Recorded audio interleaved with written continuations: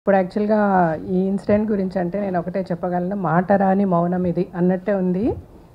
ఏమి మాట్లాడాలన్నా కూడా అసలు నాకు స్ట్రైక్ అవ్వడం లేదు. ప్రసన్న గారు చెప్పినట్టు ఇద్దరు కూతుర్లు నాకు. పెద్దమ్మాయి తన మెడిసిన్ కంప్లీట్ చేసి ఇప్పుడు యాక్చువల్గా తను కూడా ఇంటర్న్షిప్ చేస్తుంది అపోలో హాస్పిటల్లో.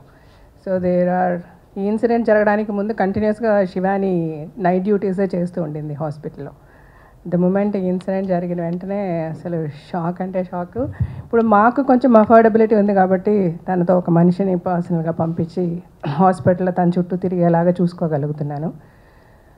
కానీ ఆడపిల్లల గురించి ఆలోచిస్తే ఈరోజు కనీసం బస్ టికెట్ కూడా కొనుక్కోవడానికి కష్టపడుతూ నడుచుకుంటూ వెళ్ళి ఎన్నో చోట్ల పనులు చేసుకొని వాళ్ళ కుటుంబాలని కాపాడుకోవడంలో మెయిన్ అంటే ఇంటి పనులు వంట పనులు పిల్లల పనులతో పాటు కుటుంబాన్ని నడిపే విషయంలో కూడా సంపాదించే విషయంలో కూడా వాళ్ళు చేదోడు వాదోడుగా ఉంటూ ప్రతి ఫీల్డ్లో కూడా ఆడవాళ్ళు ఈరోజు దిగి పనిచేస్తున్నారు. ఆటో డ్రైవర్లు అవనివ్వండి లారీ డ్రైవర్లుగా కూడా పనిచేస్తున్నారు. ఇంతసేపు మాట్లాడినప్పుడు మగవాళ్ళు అందరూ చెడ్డవాళ్ళు కాదండి. హ్యాట్స్ ఆఫ్ టు మగవాళ్ళు చాలా బాగా చూసుకుంటున్నారు. Eighty to ninety percent. వాళ్ళు గనక సరిగ్గా ఆడపిల్లల్ని రెస్పెక్ట్ చేయలేని పరిస్థితి ఉండుంటే ఈరోజు ఆడపిల్లలు ఇలా బయటకు వచ్చి పనులు చేస్తూ ప్రతి అంటే వాళ్ళకున్న ఆశలు వాళ్ళకున్న డ్రీమ్స్ అన్నిట్లో ముందడుగు వేసి ఒక ఆర్టిస్ట్ కావండి యాక్ట్రెసెస్ కావనివ్వండి లేకపోతే పైలట్స్ కావనివ్వండి డాక్టర్స్ కావనివ్వండి నర్సెస్ కావనివ్వండి ఏ పనిలో ఉన్నా ఈరోజు ఆడపిల్లలు వచ్చి ముందుండి పని చేయగలుగుతున్నారంటే డెఫినెట్గా వాళ్ళ వెనక తన్ వాళ్ళని కనిపించిన తల్లిదండ్రులు అన్నలు తమ్ముళ్ళు ఫ్రెండ్స్ ఎంతోమంది సపోర్టివ్గా ఉన్నారు. కానీ ఒక ఒక స్మాల్ పర్సంటేజ్ ఆఫ్ సైకోస్ అంటే ఈ సైకోలు ఆడవాళ్ళలో కూడా ఉన్నారు కొంతమంది నేను కాదంటలేదు కానీ మెజారిటీ ఈ సైకోల వల్ల మనం ఎంతో సఫర్ అవుతున్నాము. ఈ ఇండస్ట్రీలో నేను థర్టీ ఇయర్స్గా ఉన్నా నేను ఐఎమ్ ద హైలీ రెస్పెక్టెడ్ పర్సన్గా నన్ను చూస్తుంది ఇండస్ట్రీ సో అంత రెస్పెక్ట్ నాకు ఇండస్ట్రీలో ఉంది. అట్ ద సేమ్ టైం మనం చూస్తున్నాం ఇప్పుడు దాము గారు చెప్పారు మనకి ఇక్కడ ఒక సెల్ ఉంది uh, విమెన్ ప్రొటెక్షన్ గురించి. సో ఎనీబడీ కెన్ అవైల్ అంటే ఫస్ట్ మనం ఎంతవరకు దాన్ని అవైల్ చేసుకుంటున్నాము మనం ఎంతమంది వచ్చి ఈ సెల్ని రికగ్నైజ్ చేసి మనకి ఏదైనా ప్రాబ్లం వస్తే చెప్పగలుగుతున్నాము చాలామంది చేయలేకపోతున్నాము.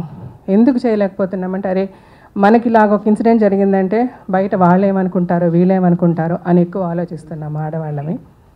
నేను చెప్తున్నానండి దిస్ లైఫ్ ఇస్ చాలా షార్ట్ ఇట్స్ అంటే ఒక బబుల్ ఇలాగంటే అట్లా పేలిపోతుంది అయిపోతుంది లైఫ్ ఇంత చిన్న షార్ట్ లైఫ్లో వాడేమనుకుంటాడు వీడేమనుకుంటాడని దయచేసి ఆలోచించద్దు. మనకు అన్యాయం జరిగిన రోజు ముందుకొచ్చి మాట్లాడండి. ఏ ఫీల్డ్లో ఎవరున్నా సరే. ఒక్కడ ఒక మాట అన్నా మనం పడాల్సిన అవసరం లేదు. మన వెనక ఒక మగవాడు మనల్ని అవమానిస్తే పది మంది మగవాళ్ళు మన వెనక ఉన్నారు మనల్ని సపోర్ట్ చేయడానికి. This is what the women should understand ప్రతి స్త్రీ అర్థం చేసుకోవాల్సిన విషయం అండి. మన వెనక ఒక్క మగవాడు మనల్ని అవమానిస్తే వందల వేల మంది మగవాళ్ళు మనల్ని సపోర్ట్ చేయడానికి ఉన్నారు అది అర్థం చేసుకోండి. ధైర్యంగా మీకు ఏ ఇష్యూ వచ్చినా ఏ ప్రాబ్లం వచ్చినా ముందు బయటకు వచ్చి నిలబడి మాట్లాడండి. అంటే డెఫినెట్గా ఒక ఇష్యూ జరుగుతున్నప్పుడు మనకి ముందే తెలుస్తూ ఉంటుంది. మనం స్మెల్ చేయగలం. ఈ చుట్టుపక్కల మన చుట్టూ ఉన్న వాళ్ళు ఎలా ఉన్నారు? ఈ పరిస్థితి ఈ చుట్టుపక్కల వీళ్ళ బిహేవియర్ ఎలా ఉంది? వీడు సరిలేడే. ఈ వ్యక్తి బిహేవియర్ కరెక్ట్గా లేదు. ఇతని వల్ల మనకి ఈరోజు కాకపోతే రేపదని రేపని ఏదైనా ప్రాబ్లం ఉంది. అంటే ఇమీడియట్గా ఒకేసారి ఎవరో వచ్చేసి అటాక్ చేయరు. ఒకడు ఒకడు యాసిడ్ పోసాడన్నా లేకపోతే ఇంకొకటి వచ్చి నరికేశాడన్నా ప్రేమించిన అమ్మాయి నేను ప్రేమించలేదని చెప్పలేదంటే ఇంట్లో వచ్చి అటాక్ చేశాడన్నా ఏది జరిగినా ఏ ఇన్సిడెంట్ మనం చదువుతున్నా డెఫినెట్గా దానికి ముందు ఒక కొన్ని రోజులుగా ఏదో ఒకటి జరిగి ఉంటుంది. మన స్మార్ట్నెస్ మనం ఎంత అలర్ట్గా ఉంటున్నామో మన చుట్టూ పరిసరాలు ఎలా ఉన్నాయి ఈ వ్యక్తులు మనతో ఎలా బిహేవ్ చేస్తున్నారు? ఓకే ఇది కరెక్ట్ కాదు అన్నప్పుడు మీరు ముందు బయటకు రండి. ఇంట్లో డిస్కస్ చేయండి మాట్లాడండి. పోనీ ఇంట్లో మమ్మీ డాడీ మనల్ని అర్థం చేసుకోలేరు లేకపోతే అన్నయ్య అర్థం చేసుకోడో తమ్ముడు అర్థం చేసుకోవడం అంటే ఫ్రెండ్స్తో డిస్కస్ చేయండి. అంటే మళ్ళీ ఆ ఆడపిల్లలు మాట్లాడితే ఇలాంటి ఇన్సిడెంట్ జరిగినప్పుడు ఆడపిల్లలు కేర్ఫుల్గా ఉండాలి ఆడపిల్లలు అలా చేయాలి ఇలా చేయాలి అని మాట్లాడుతున్నారని దయచేసి అనద్దు అను అనుకోవద్దు. నేను అలా చెప్పడం లేదు. ఆడపిల్లలు అని చెప్పి మన వెనకంజ వేయాల్సిన అవసరం లేదు. కానీ at the same time physically we are weak అన్నది ఒక్క ఒక్క పాయింట్ మనం హండ్రెడ్ అండ్ టెన్ పర్సెంట్ మనం యాక్సెప్ట్ చేయాలి కాబట్టి మన సెక్యూరిటీ కూడా మనం చూసుకుందాము. అంటే డెఫినెట్గా ఇప్పుడు దాము గారు చెప్పినప్పుడు ఇప్పుడు ఫిల్మ్ ఇండస్ట్రీకి ఇప్పుడు ఒక రైటర్స్ యూనియన్ నుంచి కూడా ఒక ఆవిడ మాట్లాడారు మాకు ఒక సెల్ ఉంది అని చెప్పి. మూవీ ఆర్టిస్ట్ అసోసియేషన్లో నేను జనరల్ సెక్రటరీగా ఉన్నప్పుడు కూడా చాలా మాట్లాడడం చాలా చేసాం అప్పుడు ఈ మీ టూ మూమెంట్ చాలా యాక్టివ్గా జరిగినప్పుడు కూడా ఏమేం చేయాలో చెప్పాము. బట్ స్టిల్ ఇంకా తప్పులు జరుగుతున్నాయి ఆడపిల్లలు సఫర్ అవుతున్నారు. బట్ ఈ సఫరింగ్ నుంచి మనల్ని మనల్ని మనం సెక్యూర్ చేసుకోవాలంటే ముందు మనం స్ట్రాంగ్ అవ్వాలి మనం అవేర్నెస్ తెచ్చుకోవాలి. మనం ఫైట్ చేయడం మొదలు పెట్టాలి అదే నేను ప్రతి విమెన్కి చెప్పదలుచుకుంటున్నానండి. స్త్రీ ఆడ ఆడది అన్న ప్రతి ఒక్కరికి ఇప్పుడు కొంతసేపు ముందు మాట్లాడారు. స్త్రీ లేకపోతే మనం లేదు మన జన్మ లేదని. సో అలాగా స్త్రీని పూజించే మగవాళ్ళు చాలామంది ఉన్నారు. మెజారిటీ ఆఫ్ ద పర్సెంట్ స్త్రీలను పూజిస్తున్నారు. ఒక మైనారిటీ ఆఫ్ ద పర్సంటేజ్ స్త్రీలను ఎలా హింసిస్తున్నారు. సో వాళ్ళని మనం ఎలా ఫైట్ చేయాలి? మన వెనక ఎంత పోలీస్ ఉన్నా ఎంత సెక్యూరిటీ అఫ్ కోర్స్ డెఫినెట్గా లా స్ట్రాంగ్ అవ్వాలి. ఇంకా పనిష్మెంట్స్ స్ట్రింజెంట్గా ఉండాలి.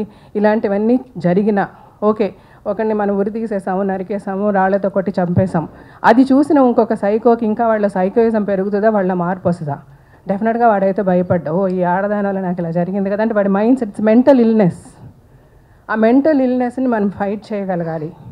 ఫైట్ చేయాలంటే మన చుట్టూ మనము డెఫినెట్గా గవర్నమెంట్ చాలా సిస్టమ్ ఎన్నో ఎన్నో ఎన్నో ఎన్నో లాస్ వచ్చాయి.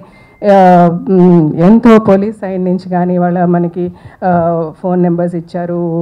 రకరకాలుగా విమెన్ ప్రొటెక్షన్ గురించి రకరకాలుగా ప్రతి ఆర్గనైజేషన్స్ ప్రతి ఇండస్ట్రీలో చాలా సెక్యూరిటీ మెషర్స్ తీసుకుంటున్నారు. Because there are n number of sensible men who want women to be safe ఆ సేఫ్టీ మెషర్స్ అన్నీ మనం ఫాలో చేస్తూ మనల్ని మన చుట్టూ కూడా సెక్యూర్ చేసుకుంటూ we should all definitely fight for it ఇది డెఫినెట్ ఐ మీన్ సుప్రియ తన ఇనిషియేటివ్ తీసుకున్నందుకు నేను ఐ ఫెల్ట్ వెరీ నైస్ తను నాతో చెప్పినప్పుడు. నాకు చాలా మనసులో బాధ ఉండింది ఫస్ట్ చదివి చూసిన వెంటనే. ఏదో ఒకటి చేయాలి అని అనిపించింది. సరే ఏం చేస్తాం? అని ఆలోచించినప్పుడు మళ్ళీ అగైన్ సరే ఫస్ట్ నా కూతురు శివాని ఓకే నువ్వు ఇలా ఉండు శివాత్మికి ఇలా ఉండని నేను మాట్లాడాను. నాకు తెలిసిన ప్రతి శివాని ఫ్రెండ్స్ గురించి నేను వాళ్ళందరితో చెప్తూ ఉంటాను మీరందరూ ఒక గ్రూప్గా ఉండండి అమ్మా. ఒకవేళ ఎవరైనా ఏదైనా బయటికి వెళ్ళి ఏదైనా ఇంటర్వ్యూస్కి సపరేట్గా వెళ్తున్నారు అనుకోండి ట్రై టు బీ మీరు ఒక గ్రూప్ చేసుకుంటారు కదా గ్రూప్ కాల్లో ఉండండి వీడియో కాల్లో ఉండండి ఆర్ అట్లీస్ట్ ఫోన్ కాల్లో మీరు ఇక్కడి నుంచి అక్కడికి ట్రావెల్ చేస్తున్నారు. ఐదు నిమిషాలే పది నిమిషాలని కూడా అనుకోవద్దు. ఐదు పది నిమిషాలు కూడా ట్రై టు బీ ఒక కొంచెం లేట్ నైట్ ఏదైనా మీరు రా రిటర్న్ వస్తున్నారు ఎవరితోనైనా ఫోన్ కాల్లో ఉండండి. సమ్ ఆఫ్ యువర్ ఫ్రెండ్స్ ఇట్లాగా అంటే these are some basic things I'm telling ఇది ఆడపిల్లలకి వీక్నెస్ అనో లేదా ఆడపిల్లల్ని మీరు తక్కువగా చూస్తున్నారు ఆడపిల్లలు ఇలా ఉండ అలా నేను చెప్పటం లేదు. ఆడపిల్ల బయటికి రావాలి మనకి. పురాణ కథలు వింటే కూడా కాళీమాత గురించి చదివాము లేకపోతే వారాహి మాత గురించి చదువుతున్నాము. రాక్షసుల్ని చంపిన ఎంతోమంది దేవుళ్ళని మనం చూస్తాము అప్పటి నుంచి మనల్ని ఎడ్యుకేట్ చేస్తూనే ఉన్నారు. ఎగ్జాక్ట్లీ బేటీ బనావో షేర్ అని చెప్తున్నారు ఆయన ఎగ్జాక్ట్లీ సో ఆడపిల్లలు ఏ విధంగానూ తక్కువ తక్కువగా ఉండాలని నేను అనడం లేదు. బట్ స్టిల్ ఇలాంటి ఒక ఇష్యూ జరుగుతుంది. ఇప్పుడు మన అభయాకి జరిగినట్టు లేకపోతే అంతకుముందు దిశ లేకపోతే అంత నిర్భయ ఇలాంటి ఇన్సిడెంట్స్ మనం జరుగుతున్నాయి. మన కళ్ళారా మనం చూస్తున్నాము. చిన్న చిన్న పిల్లలు ఆరేళ్ళ పిల్లల ఆరు నెలల పిల్లల అని కూడా చూడకుండా జరుగుతున్నాయంటే సో దీస్ ఆర్ యానిమల్స్ అంటే ఒక అడవిలో పులులు సింహాల్లాగా వీళ్ళు. అంటే మన్ మనుషుల్లాగా ఒక ముసుగులో ఉన్న సైకోస్. వాళ్ళే చేస్తున్నారు ఇలాంటివి. సో వాళ్ళ అలాంటి వాళ్ళకి మనము మన చుట్టూ ఒక స్త్రీ వెనక ఒక పది మంది పోలీసులు పెట్టి నడిపించినా కూడా ఏదో ఒక సెకండ్ అప్రమత్తంగా ఉన్నప్పుడు ఈ పులి వచ్చి అటాక్ చేసే అవకాశం ఉంది.